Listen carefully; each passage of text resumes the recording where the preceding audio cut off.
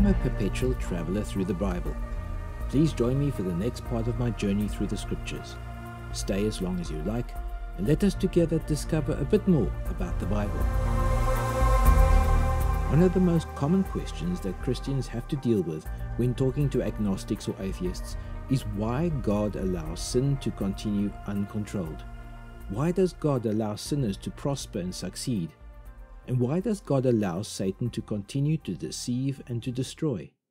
These questions have been asked by everyone, both believers and unbelievers, since the very beginning.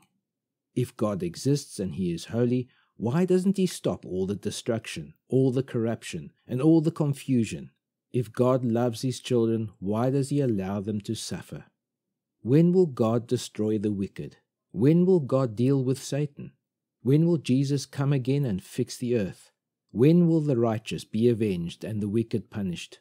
To put it in the words of David the psalmist, How long, O Lord, how long?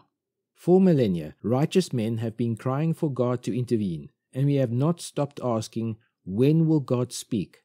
When will God break his silence?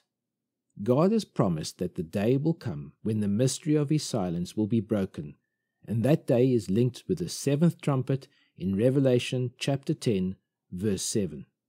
In the days of the trumpet call to be sounded by the seventh angel, the mystery of God would be fulfilled, just as he announced to his servants the prophets. The time when the seventh angel blows the seventh trumpet is when the great mystery of an apparently silent God will end. All the plans and all the purposes of God concerning men and the world will be carried out. Christ will come. His kingdom will be established on earth. Satan will be stopped, bound in chains, and imprisoned, and with him all his demons. Righteousness will rule, Christ will be king, and God will speak. At that time, the Bible tells us the curse on the earth will be lifted. Sin, with all its carnage of broken hearts, broken dreams, and broken lives, will all be healed. All the mockers, the agnostics, the atheists, and the unbelievers who scoffed and said, Where is God? will be silenced. The thousands and thousands of years of sin, death, lies, murders, thefts, and believers being maligned and martyred will be over.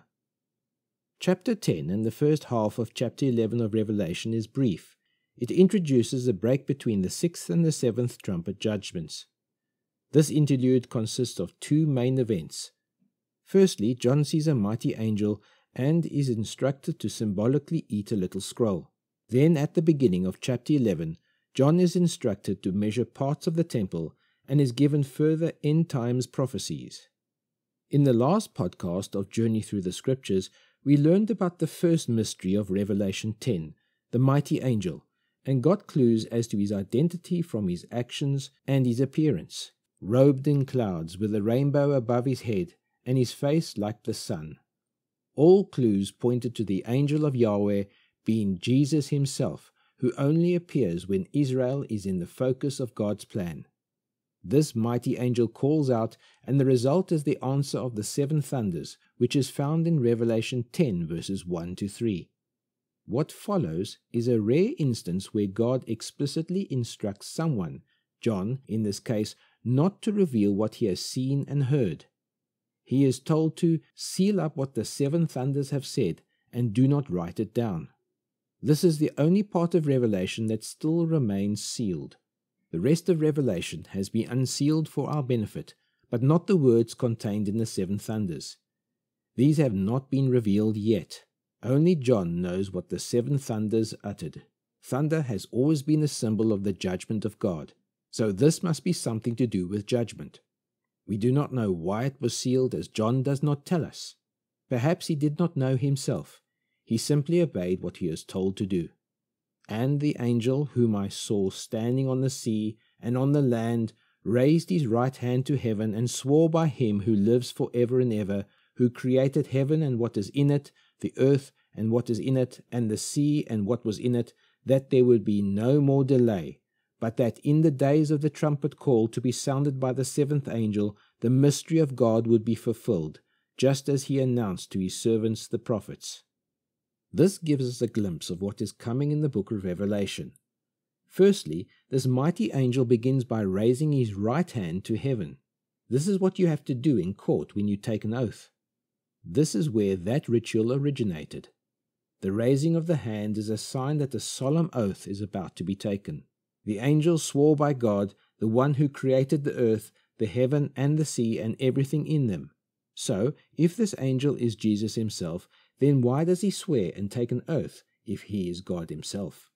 In Hebrews 6 verses 13, we read that when God wanted to swear an oath to Abraham that he would keep his promises to him, we are told that because he would swear by no one greater, he swore by himself. This is what Jesus is doing here. He is swearing by the triune God, Father, Son, and the Holy Spirit, that there will be no longer any delay in explaining the mystery of God. God has apparently delayed for centuries in answering the questions of men. We read in Acts that even the early Christians expected Jesus to return in their day. Paul certainly expected Jesus' return in his lifetime. Both of Paul's letters to the Thessalonian church focus on teaching and encouraging these believers about the second coming of Christ. In fact, every generation of Christians since the first century AD have been expecting the Lord to return in their time, but he has not come yet. Today we are expecting the Lord to return. But when the seventh angel blows his trumpet, the angel says, There will be no more delay. And when it happens, God will begin his reign on the earth. Did you know that God has never reigned on earth up to this point of time? He has been king over the heaven and the earth and the whole universe, but he has never yet reigned on earth. He has ruled on earth because he governs human events and controls history, but he does so remotely he has never openly reigned upon the earth. But when the seventh angel sounds his trumpet, then God will begin to reign. There's a clue about this in Revelation chapter 11, verses 17. There we find the 24 elders praising God and saying, We give thanks to you, Lord God Almighty, who is and who was, for you have taken your great power and begun to reign. That is the day when that same prayer that we have been praying for so long that until now has remained unanswered that says, Your kingdom come, your will be done on earth as it is in heaven.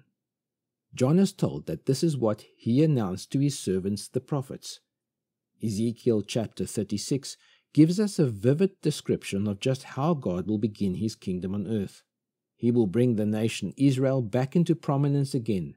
He will remove the heart of stone from them and give them a heart of flesh, and he will put his spirit within them. It has all been predicted in the prophets, and there are many, many such passages. In Romans 11, Paul tells us that this truth is important. He warns Gentile believers not to boast against Israel. There are many Christian teachers today who teach that Israel does not have any future at all, and all the promises of the Old Testament are to be applied to the church. When these replacement theologians say that, they fail to heed against what Paul warns them against in Romans 11 verses 18. Paul says, Do not be arrogant towards the branches. If you are, remember that it is not you who support the root, but the root that supports you. These promises belong to Israel, and we Gentiles are allowed to benefit from them by the grace of God only.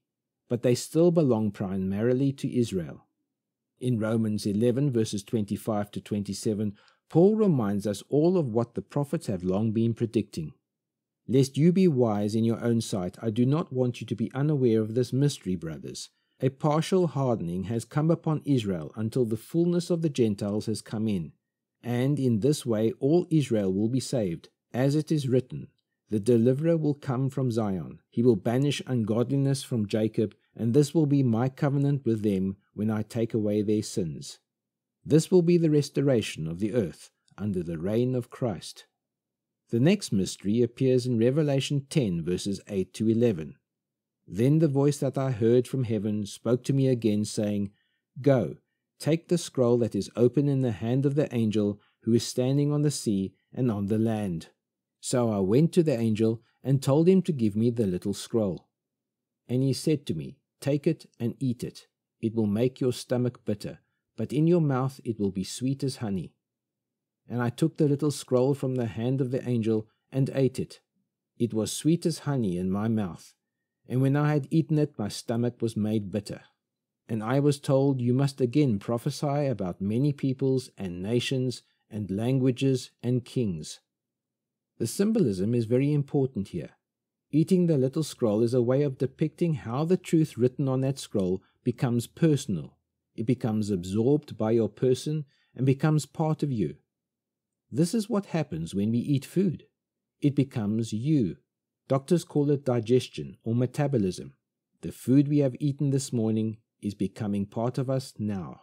When John eats the scroll, it is a symbol that he is taking it into himself and becoming personally involved with it. This strange incident of eating a scroll is not unique to Revelation. This particular imagery comes from the prophet Ezekiel, chapter 2, verses 9 through to chapter 3, verses 3. But you, son of man, hear what I say to you. Do not be rebellious like that rebellious house. Open your mouth and eat what I give you.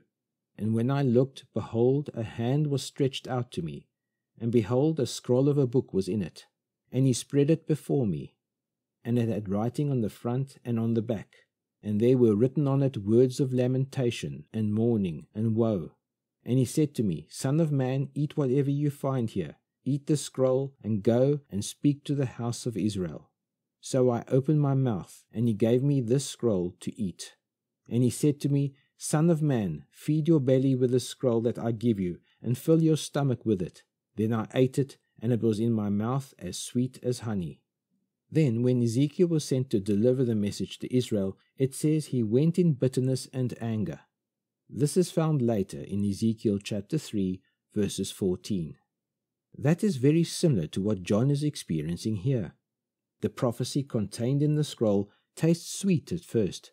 How exactly God will fulfill his plan on earth certainly has an element of it that is wonderfully sweet. Yet, as John takes it in, eats it, and absorbs it, he becomes personally involved. It begins to turn sour. He realizes that he has a part of this as well not only in the final result, but also in the judgments that lead to it. This is often how Scripture deals with us. We read a passage that speaks of our destiny as believers and read of the wonderful promises that God has in store for us. But as we meditate on it and read further, we begin to understand that God has plans to change us, to get us ready for that future that He has prepared for us. And we begin to realize that we are going to be personally involved in that preparation we are going to have to lay aside our attitudes, opinions, and bigotries. There are bad habits that we must give up, and it is not going to be easy. Mark 9, verses 43 tells us that if your hand causes you to sin, cut it off. It is better for you to enter life crippled than with two hands to go to hell, to the unquenchable fire. There is hurt and personal pain in obeying the word of the Lord, but it is all part of his plan we must be careful of reading the judgments of Revelation and being unmoved, thinking that this is going to happen to other people in the end times, and that it does not concern us, because the church will be raptured before these events. But judgment does touch us. God has already released judgments upon the earth, whether we like it or not. We feel uncomfortable when the word touches us personally, and we discover that we are part of the problem, and we must be changed as well as others. I'm sure you remember that story of King David after his adulterous affair with Bathsheba and after arranging the murder of her husband so that he could take her for himself. David thought that no one knew about it. He thought he had gotten away with it. But God spoke to the prophet Nathan and sent him to David the king and told him a story of gross injustice in David's kingdom. This can be found in 2 Samuel chapter 12. When David heard this, he was very angry. His sense of justice was aroused, but suddenly David was confronted with the fact that God's judgment had touched him as well when Nathan declared that, You are that man. When it happened here to John and he ate the scroll, it was sweet in his mouth, but it turned sour in his stomach. But only then was he given a new assignment in verse 11 and was told, You must again prophesy about many peoples and nations and languages and kings there is an important principle illustrated here. After you have personally entered into the meaning of judgment, and God has judged you as well as others, and you have felt the hand of God upon you, then and only then will you be prepared to speak to someone else about the program of God. Here in Revelation 10, verses 11, John is given here the privilege of ministering again to nations and peoples and languages and kings. That is going to be the theme of the next chapters of Revelation, chapters 11, 12, 13, and 14. We are going to find the pronounced change of scene in Revelation at this point. John will be sent back over the terrible scenes of judgment to highlight and focus on certain characters and personalities and to tell us more details about them. This process will involve, as it says, many peoples and nations and languages and kings. That is going to be the theme of the next chapters of Revelation. There is a lot more to come, and I am hoping and praying that we will realize that as we are having this book revealed to us through God's Holy Spirit and it is entering us, it will let us speak with personal conviction to others. For too long, we have been frightened of offending others and becoming unpopular and rejected. Isn't it time to take the message of Revelation seriously? This is David Wiles, your fellow traveler in Christ, and this has been the Journey Through the Scriptures podcast, episode 38.